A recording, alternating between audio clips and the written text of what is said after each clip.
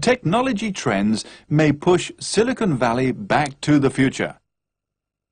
Carver Mead, a pioneer in integrated circuits and a professor of computer science at the California Institute of Technology, notes that there are now workstations that enable engineers to design, test, and produce chips right on their desks, much the way an editor creates a newsletter on a Macintosh.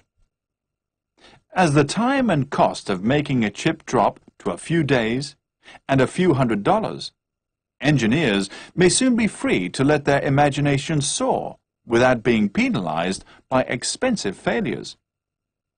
Mead predicts that inventors will be able to perfect powerful customized chips over a weekend at the office, spawning a new generation of garage startups and giving the US a jump on its foreign rivals in getting new products to market fast.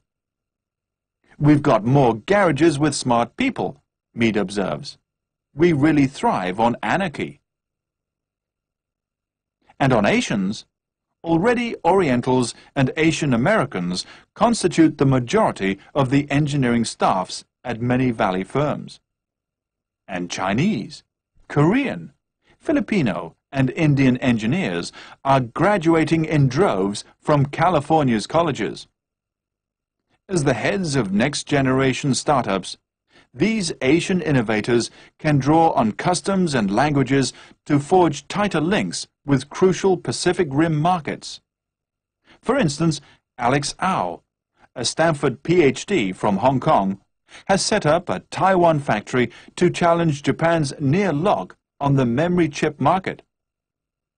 Indian-born N. Damodar Reddy's tiny California company reopened an AT&T chip plant in Kansas City last spring, with financing from the state of Missouri.